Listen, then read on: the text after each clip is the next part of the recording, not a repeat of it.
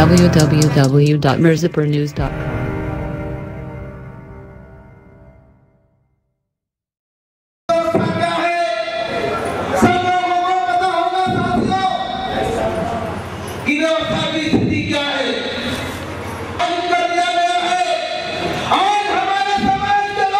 परिवर्तन यात्रा सात अगस्त से मध्य प्रदेश सिवनी से की व्यवस्था क्या है सब लोगों को पता होगा साथियों कि व्यवस्था की स्थिति क्या है बंद कर दिया गया है आज हमारे समाज के परिवर्तन यात्रा सात अगस्त से मध्य प्रदेश सिवनी से शुरू की गई है। और ये जनवरी फरवरी तक लगभग छः महीने तक चलेगी।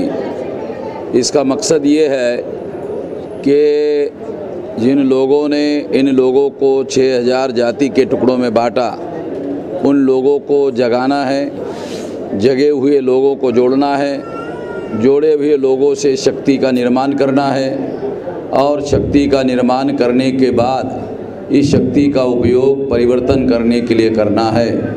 इस मकसद को लेकर सारे देश भर में परिवर्तन यात्रा चलाई जा रही है। हाँ? ये संविधान में मान्यता नहीं है। सुप्रीम कोर्ट ने कहा कि आर्थिक आधार पर आरक्षण नहीं दिया जा सकता। अब सुप्रीम कोर्ट कह रहा है, सुप्रीम कोर्ट के ऊपर तो कोई कोर्ट है नहीं। चर्चा का आगामी हो रहा है, क्योंकि ईवीएम मशीन जो है ईवीएम मशीन की वजह से पूरे भारत देश की समस्या बनी हुई है।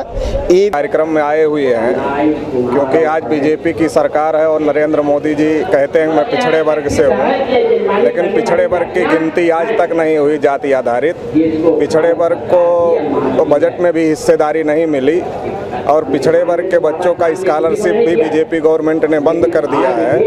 और 314 जो सिविल सर्विसेज़ में पिछड़े वर्ग के लोग आए हुए थे क्रीमी लेयर के नाम पर नरेंद्र मोदी ने उन्हें भी बाहर कर दिया है। तो नरेंद्र मोदी पिछड़े वर्ग का होने के बावजूद भी पिछड़े वर्ग के साथ धोखेबाजी कर रहे हैं क्योंकि उन्हें आरएसएस चला रहा है। इसलिए बहुजन क्रांति मोर्चा पिछड़े वर्ग को लेकर के चल रहा है। इस, इसलिए